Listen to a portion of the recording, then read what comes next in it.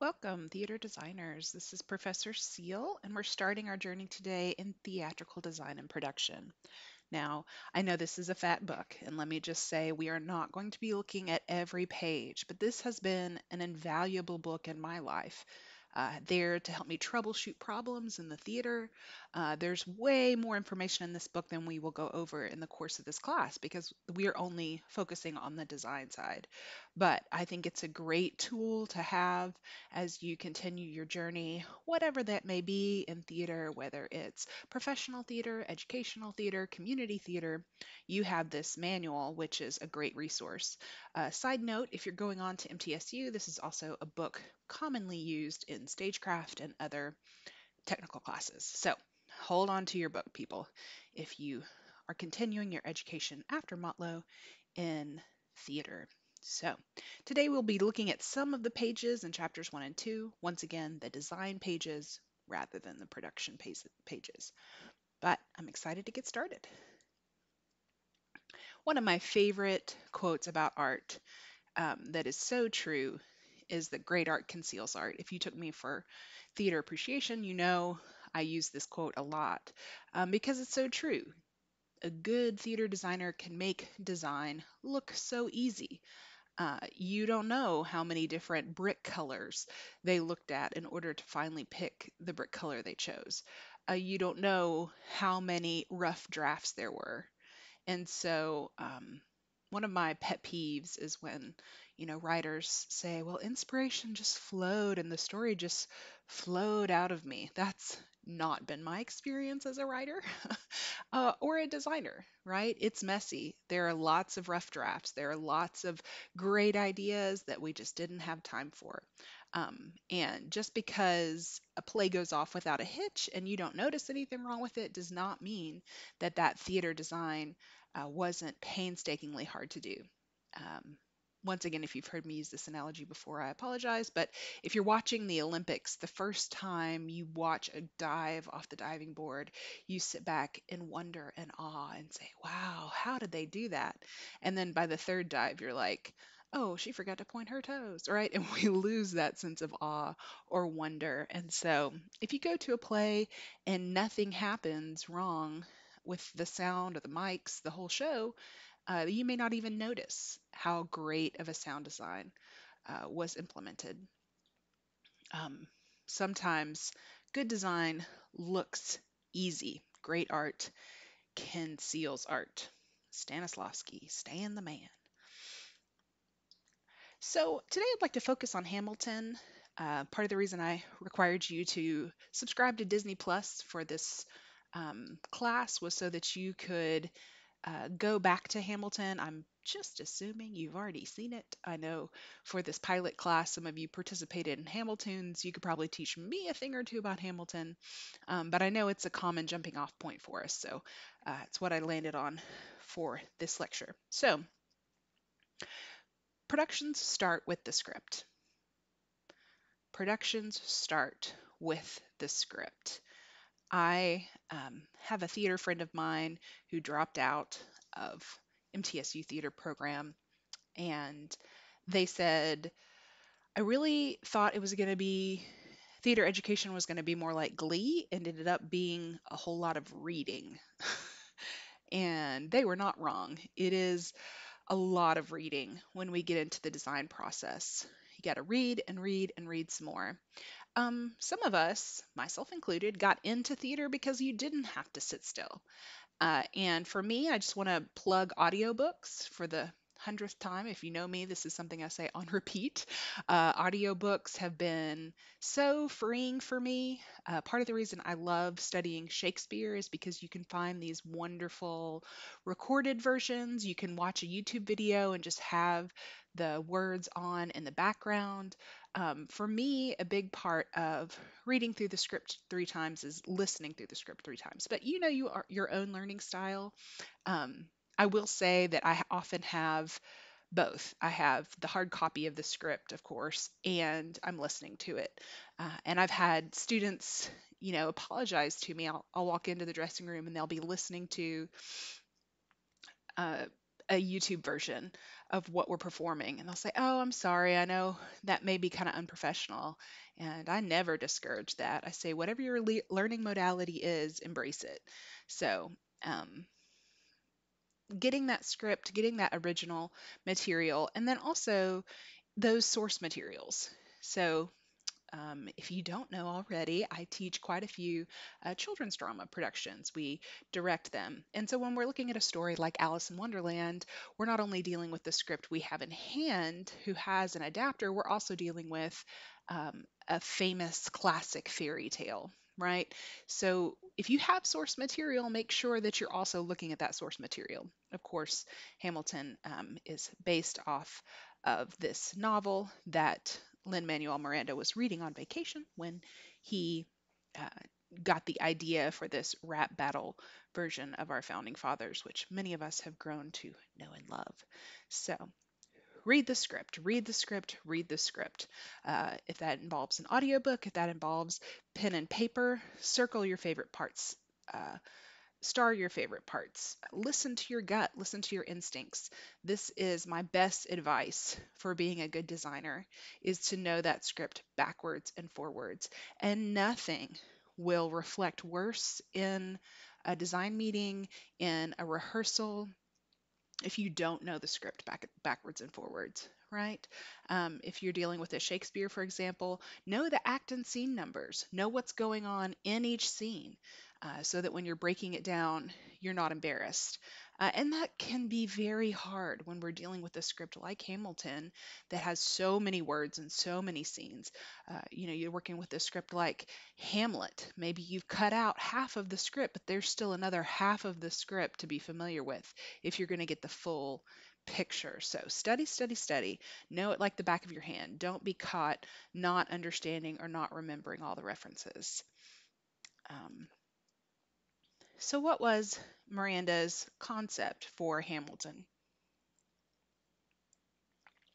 So, a production concept is um, the kind of seed, and if you took script analysis, uh, then you're overly familiar with a concept of a concept. um, but it's sort of a one sentence, sort of a um, distilled version of the overall style of the show, the overall uh, vision for the show, uh, the creative interpretation of the show. So, uh, Miranda has said over and over again in public settings that his concept was a story of America then told by America now. That's been sort of his catchphrase. If you've watched as many different uh, video documentaries, uh, all of these things, you can hear him say it on repeat. Uh, concept, his concept is a story of America then told by America now. Now, we'll um, say different producers and designers and playwrights will have concepts. Some of them are more esoteric, more visual. One of my favorite designer directors is Julie Taymor, and she tends more towards an Eastern model, or some would argue a more feminine model of saying, okay, let's find a shape, like a circle. Uh, let's find a color that's really influential to our concept. Um, so a concept can be kind of a thing that's hard to pin down. And when you work with different um, directors, you may work with different concepts. Um, but the concept is that central creative idea, right? That central creative idea that everybody can get behind. And if you start a process and you don't have a clear concept, then it's going to end up being as messy as it is in your head. Um, one thing that often happens with non professional theater is we get started on the show and then we're trying to find a concept as we work on the script. Uh, and that is very backwards. And it, when you're working in professional theater, you know, the design team starts meeting, you know, a year in advance of when you actually cast the show, and you're able to really spend the good time working on that concept and um, helping the director articulate that concept. Uh, but a good concept is just one sentence, right? It's nice and succinct, right? Um, and it brings unity, it brings everybody together. So, remember for this class, you're going to find a new concept for Much Ado About Nothing. Um, and the good news for you is that your concept is your own. You don't have to try to communicate it to a production team, which to me is one of the hardest elements of working on design is communicating your ideas within your production team. Now, for the sake of clarity and brevity, I've only picked two designers here, David Korins and Paul Tazwell. Um, I know there's a much bigger production team for Hamilton. Uh, obviously, the producers, the director, the lighting designer, the sound designer, all of those people would be at a design team. Um, but like I said, for the for the sake of uh, being brief, we're just going to focus on a few different elements of design in this course and mostly a little bit of sound design, but a lot of scenic and costume design. I find that students find um, scenic and costume design the most accessible right? You have a house, you, you've decorated your house, or maybe you have an apartment, you have a dwelling, I'm assuming. Uh, you have a body, you're used to putting on clothes, that's pretty accessible for you. When we start talking about lighting design, it gets much more technical and esoteric. And so I'm teaching design principles that also would apply to light design, right, throughout this course. But we'll focus primarily on scenic and costume design. So at these production meetings, it may seem overly simplistic to say, but the best production meetings are conversations, not lectures. So you do have to share, if you're the director, enough of your vision that other people can get on board or can catch your vision. Um, but it needs to be a conversation. And if you, as a designer, come in, you do need to listen to your director. You need to respect the authority of your director. Um, but then you can also bring in your own ideas. And um, it can be a very fun, magical time of spitballing and brainstorming. And it can also be a very disheartening time if you have what you consider a great idea and you go to that collaboration table and you don't feel respected or it gets shot down um, you know that can be pretty hard so just brace yourself for that um, so I've listened to a few interviews with both Tazwell and Korins, and both have said, how did they get the job? By being cooperative, right? Uh, Miranda, obviously, they have skill, they have talent, they're hardworking, uh, they were established Broadway designers, but they had worked with people who had worked on the production team with Miranda, and they were recommended. So, one of my biggest advice to future theater artists or current theater artists is to be collaborative, right? Be the kind of people who people want to work with, be inspiring, be responsible, um, be um, present when you're there. Uh, and um, I know that there have been people who have big big personalities and act out and they live in legends like the rock stars of theater design but they are few and far between. Most designers got where they are.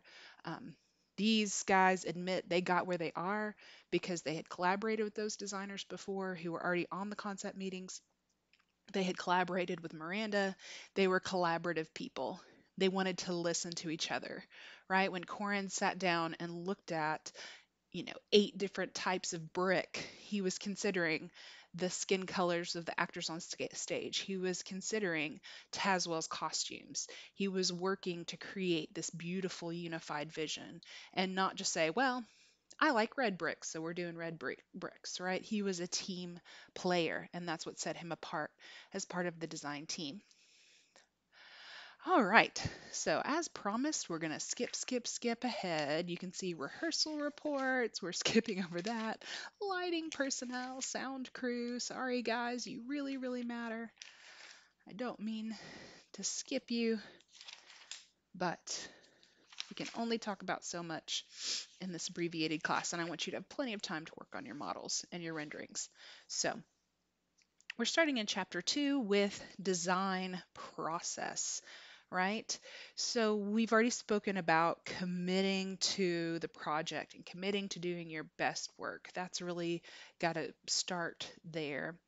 Um, but we're moving on on page 23 in the design process to analysis, right? A good designer learns to prioritize. A good designer learns to prioritize. You may have heard it this way time is the enemy of art.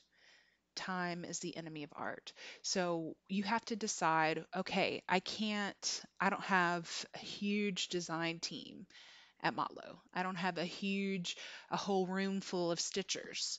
So I need to figure out what I have the time and energy to invest in. So we have this graph here. Um, and what you may have heard said before is I can I can make it fast, I can make it cheap, or I can make it great, but you can't have all three, right? So if you want a fast and cheap Halloween costume, I can go to Halloween costumes right now and buy a $2 mask made in China. It'll be here tomorrow. They're going to Amazon Prime it right to us. But will it last the whole show if we have 15 performances of the children's drama? Maybe not, right? So that might that cheap Oriental trading mask, not to disparage China, they make beautiful work. But if I'm buying a cheap Halloween costume, it may be cheap, it may be fast, but it's going to be green there. It's going to be not great, right? Now, if I lovingly plaster your face and then I create a mold and I uh, do a reverse transfer and then I lovingly paint and bead said mask and it perfectly fits you and I have all of the time in the world to do that, I can have a great and cheap mask it's just made out of plaster. It is beautiful. I've solidified it with some big, strong uh, ad- adhesive. I have a beautifully handmade crafted mask, right? Um, and, but it's not going to be fast. I will have spent hours lovingly placing every bead. And it may be cheap because it's just made out of plaster, uh, fake gems, not real gems, but it's definitely not going to be fast to place every tiny little thing. Right. Now, if I'm trying to make this mask and I want to make it quickly and I want it to be great, I could walk into the shelves of Joann's or Hobby Lobby or Michael's and I could pick out a really expensive um, mask pre-made and then I can buy some beautiful feathers and some sequins and I can spend a thousand dollars on craft supplies for this one mask. I can make a pretty mask. Let me tell you, I can sink some money into a craft store. Store. Ask my husband, but it's not gonna be cheap. So this is one of the reasons it's so smart in the design process to get started early to make sure that you're prioritizing how you use your time, especially if you're working on a low budget production. Because you can't have it all. You can't have something great, fast, and cheap. So you need to prioritize for yourself your resources. You know, if I'm going to do a play like um, Miss Saigon, I got to focus on that helicopter. I got to make the helicopter come in because that's the big finale. That's the big ending um, fireworks 11th hour moment. One of a mistake I made, uh, and I'm just trying to be real with you guys. I'm going to try to uh, not be too hard on myself in this class, but I can remember one of the first musicals I directed at Motlow was Once Upon a Mattress. And I just started at the beginning and worked towards the end. The costumes were beautiful. I rented them to save money, but spent hours at the rental shop. Um, may it rest in peace. It's closed, Performance Studios in Nashville. Um, but I spent hours picking through the costumes. What I didn't focus on was the trick at the end if you're familiar with Once Upon a Mattress, of a bunch of mattresses stacked on each other. And um, at the last gag is them sort of pulling out all of these found objects from underneath the mattresses, um, which exposes it's the story of the Princess of the Pea. It exposes how they kind of cheated to let the princess beat the princess and to undermine the queen. Um, but I didn't really focus on that gag and it sort of snuck up on me. And it really wasn't a very powerful moment. It wasn't really a very, um, I thought, 100% effective as a device because I didn't focus on it early in the play. So you need to prioritize what are those big moments that really sell your show and really tell the story and make sure that you're putting your time, money, and resources into those moments. Um, even if that's not pretty medieval gowns, which is what interested me, right? Was all the velvet, beautiful gowns.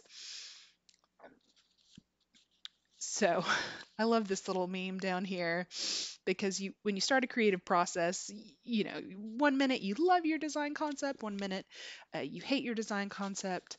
By the end, you know, during tech, you're thinking this thing is never going to get off the ground, and then by the time you have a show on its feet, hopefully you've come back full circle and you love the production again. Although I will admit, it doesn't always work out that way. So, so on page 24, we're looking at the design process, the design process, and it's giving you on page 24 three different times you read the script. Um, I will say, um, if you've taken my script analysis class, you already kind of know. Um, as a woman, I would say sometimes I process things differently uh, than these two men. And I don't mean to over exaggerate gender roles or anything like that, but a play may give you a feeling. You may see a color. You may have an intuition. Um, so don't. Um, don't discredit that. Take notes as you read the script. And um, he does say for that first reading, just try to enjoy it, right? Um, just read it and try to enjoy it. It's really important uh, that as we, as theater artists, look at our script, we don't dissect it so much that we lose sight of the mosaic that it is. And if we find joy, if we have our favorite moments, um, we need to cling to that and go back to that later in the script when maybe we've read it so much that it's lost some of its meaning. But um, pay attention to that first read. Have fun with it. Really um, absorb it as a whole thing.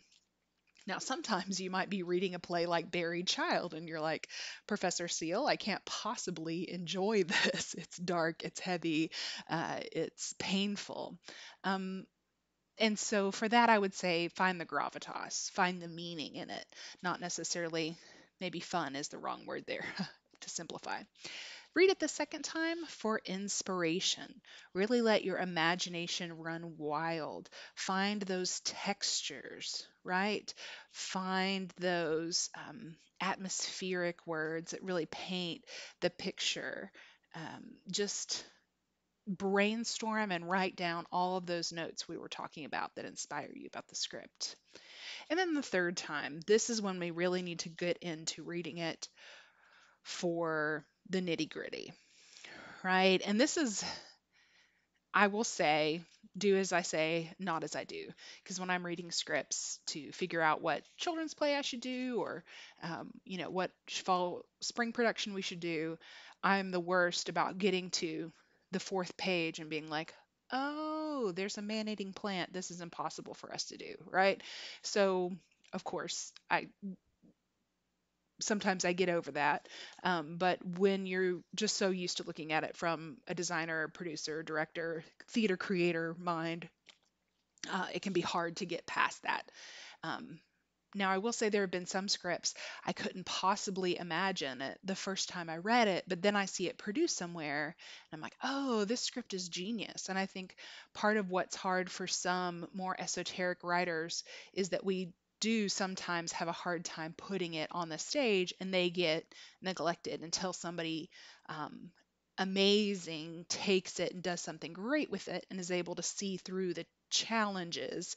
He's very intentional. He's very intentional in this book about using words like challenges rather than problems, keeping it positive. Um, but I do think um, part of the reason I picked Much Ado About Nothing is because it's so stageable, right? I think uh, it's a really accessible play. You can have a lot of fun with it, but you don't have that helicopter moment or that chandelier falling moment or one of those big events that feels impossible.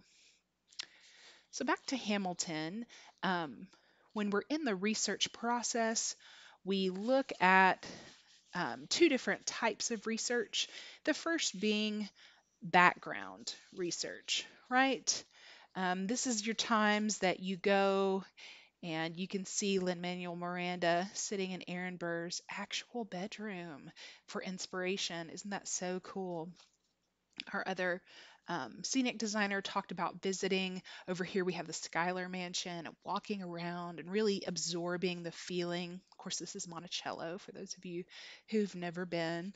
Uh, I'm sure it was daunting, and I've heard them talk about in interviews how daunting it was to sort of put these things to paper because we have these iconic photos like George Washington crossing the Hudson.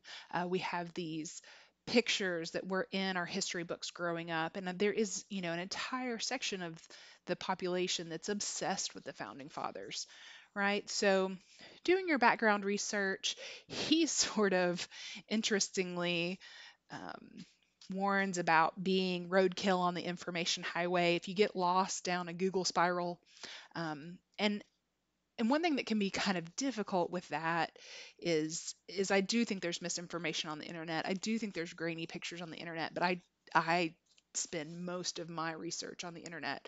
I always try to go to, you know, websites that are reputable, like the Smithsonian. I think museum websites are very helpful. Um, personally, and I'm not saying this is a model for you to model, I'm just saying I Pinterest. I love to find those pictures and save them onto a pin board and that helps me quick reference them back. I'm a very visual person, and so having those collages on Pinterest really helped me to sort of organize my information and quick reference back to it. Don't forget to save your work. I know I sound like a middle school writing teacher, but you know, if you find a cool fact or cool picture, make sure to stick a sticky note in that book. Um, take a picture of it with your phone, uh, save it on Pinterest, save it in your Google Doc or Drive. Um, don't let it slip through your fingers because there's very, very frustrating when you've seen it somewhere. The other really important reason for you to save that historical information is remember you don't want to copy it exactly. And that can be something in the creative process where we may even forget that we saw that initial picture and then we replicate it and then we go back and say, oh my goodness, I didn't mean to plagiarize that content, but it seeped into my subconscious and it came back out. So um, it doesn't happen often, but sometimes it does. If we look at like comedians telling a joke that someone else has told and they genuinely say, I I forgot that I had heard that joke, right? Um, our, our memories are tricky things. So as you're researching, do as I say, not as I do. Be organized, keep track, um, make photocopies if you're in an old school library, um, and and utilize all of those saving techniques. Um, I will say research is one of my favorite elements of design. Some scripts um, will require it more than others, um, but I would say no matter if you set it on the moon, you still want to be familiar with what are the sci fi tropes that we've seen in American television, for example, that your audience will be familiar with. Even if you set it on the moon, it needs to be um, informed with what your audience expects. So, no reason not to do your research. So, this is such a nice way of saying this, and it feels almost dishonest the way he spins it here. Um, but this is when he says concept research, he's saying find the problems. When you read the script, where are your chandeliers? Where are your uh, quick changes? Where are the problem moments in your script that you have to work around, right? Um, Korins rightly says that his biggest concern was the 25,000 word document. And he had to create a set design that moved as quickly as the words. And I think he did it, which is phenomenal. You can see how he worked so seamlessly with a choreographer to get the um, chairs moved or the uh, lights for the outdoor scene or the chandelier coming in. All those transitions are so seamless to keep the show and the pace of the show going because uh, Miranda's not slowing down for anybody. So, um, I think another really important thing that they talk about on page 27, 27 is perceptual block, right? Obviously, we've heard of writer's block when you kind of staring at a blank computer screen and you can't seem to find the next words to go on the page. But you can get the same thing when it comes to a production. You can kind of get stuck on something, and um, that perceptual block can really be frustrating. Your brain goes numb, you just can't see any way through it. Um, and hopefully you have plenty of time to work through that perceptual block. But if it happens to you, please know it's normal. It's part of the process. It's frustrating, but you can get through it, right? We can do hard things in the theater. We work our magic all the time. Little baby chicks. So, incubation. Incubation is um,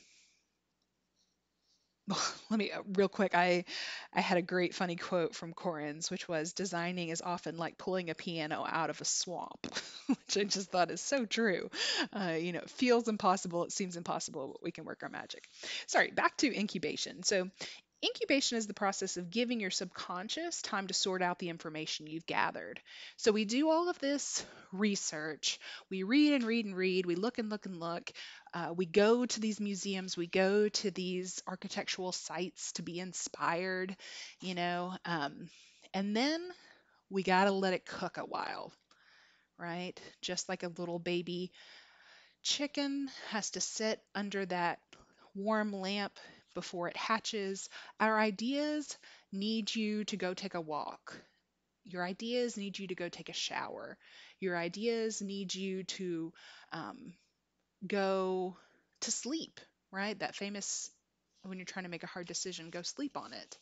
Um, and so, this is one of the reasons it's really important not to procrastinate because your brain needs time to sort of sort it out and and figure it out. This isn't a reason to procrastinate, and um, I don't mean to say that incubation is um, afforded in every situation. Sometimes incubation is a luxury, but if you have the time to sort of wait for those light bulb moments instead of trying to force it um, if you chain yourself to your desk and make yourself think, think, think, think, think about it, um, then that can be kind of counterintuitive because that that stress that you're putting on your brain and on the creative process is only going to block you up. It's only going to um, become a hurdle for you to get over. So rather than turning into a stress ball, try to get moving, do some yoga, um, take a shower, relax and see if some of those light bulbs don't start to come to you when you least sus- suspect it, because that's really going to be a powerful part of your thinking, right? And on page 28 is another uh, unblocking your thinking thing. One thing that can happen um, that they talk about on 28 is visual stereotyping. So you may have it in your head, okay, I've only ever seen this costume portrayed as the Halloween costume version of this of this, you know, and you can kind of get stuck on that overly simplistic costume design. Um, and that can be frustrating to you. And so what I would challenge you to do is avoid that low hanging fruit. The exception to the stereotyping, I would say, is children's theater. You when you're dealing with children, sometimes you need to go with the more relatable, the more stereotypical concepts, just so your kids understand it. Um, not always, right? If we look at what Julie Taymor did with Lion King, not always. Um, but when you get to those mental blocks or that tunnel vision, um, go back to your designs, go back to places that inspire you, go back to moments in the script, um, and be patient with yourself. Try not to be too hard on yourself because if you get into negative self-talk, if you get into a stress ball again, your the flow of your creative energy could be stifled. And there are numerous TED talks about creative processes, and um, I I will try to link some of those in the for your fun section of the class. All right, so the white model, this is something you'll be asked to do, and um, it's I often refer to it as a white model. Your book calls it a functional model, which makes a lot of sense. So the functional model is a 3D thumbnail sketch of the scenic design. So you want to do one quarter inch in your design for every foot of actual stage floor, right? So it's a tiny little mini model. And the advantage to that is that you can um, take it with you when you're going somewhere, you know, box it up and take it to rehearsal to show the other people in the cast. Um, they even talked about in your textbook how um, 3D printing has created tiny, tiny models, even smaller, so that they're even more portable. Um, and I think that's great. One of the advantages to Powers Auditorium is it is already a pretty small space.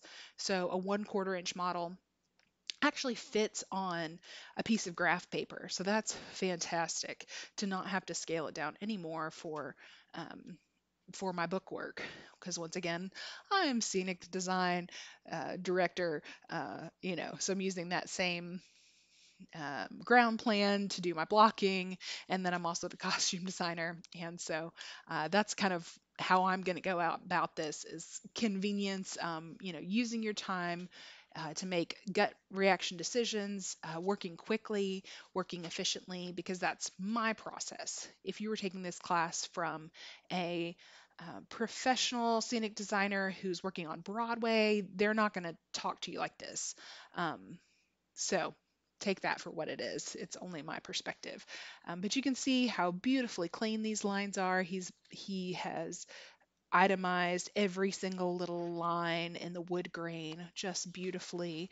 He's included um, the top of the um, eight feet here of of wall is added after intermission, which is really cool conceptually that they're building America and they're adding bricks to the wall. It's one of those details that um, is easy to miss when you're watching the film. But um, creating this functional white model helps us see the scale, helps us talk and figure out one of the most basic things for me is where are we going to do storage in the wings, um, trying to fit things in our tiny space. Um, but this Hamilton model is just poetry, isn't it? It's gorgeous. So my last thought is about the production model, right? So the production model is the same thing as a functional model, just painted and fully um, detailed out. So you may include a prop, you may include um, a little person to help you see the scale of the size of other things. And we'll talk more about production models when we get to your assignment um, in the second half of the semester of creating your own white model and your own production model. Um, but I just think this one is beautiful. So I had to show it off here early in the process. So implementation is when we get into production models. You know, this is obviously later in the process. Um, and uh, we have a great example on page 31 also of those pencil sketches of the three weird sisters from the Scottish play. I guess I'm not in the theater, I'll say it Macbeth. so, um, creating this paperwork, creating these mini models helps us collaborate. That's really the goal of these. Um, you know, I'm going to show you my white model, my production model, and it has been through the ringer, right? Uh, my my box set that I've created has been with me for eight years and it's rough around the edges, but it's a tool, right? Um, this is cute. It's a nice little dollhouse, but it's also a tool for us to communicate our ideas, to synchronize our ideas, to come to this magical um, meshing that happens in the theater. And um, it when it's right, it is right, and it's so rewarding. Uh, so I almost hate that I have to teach this as online course, of course, in the middle of our pandemic, because I do think having you work in partners, having you work in teams to sort of collaborate and create together would be so much more educational. Um, but here are the times we are in, and it's just not practical. And remember also, you doing your own work helps you to be able to have that production portfolio to take into an interview to say, here are my great ideas, here is my style, and here are pictures of my white model, my production model, and it can help you secure that job or secure that scholarship at a four-year school. So that's another big goal of this class is for you to be able to do good work that you are proud of. Show them what you got. Go Bucks. Thank you for listening.